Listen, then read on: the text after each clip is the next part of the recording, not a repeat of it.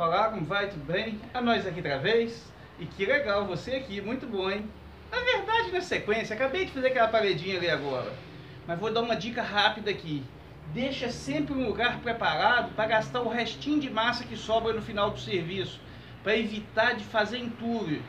Porque isso aqui é bom por dois ou três motivos. Um deles é que você não vai sujar a natureza. Vai ter onde você guardar os seus próprios restos de obra. E na verdade isso aqui eu vou ter que gastar material novo para fazer depois. Então eu já vou dando um enchimento de pouco a pouco. Uma dica muito boa. Aí você já aproveita e amassa nesse lugar mesmo.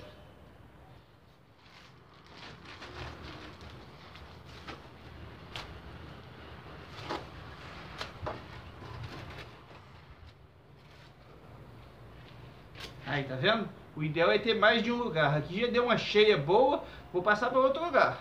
Do lado de lá aí, ó. Então...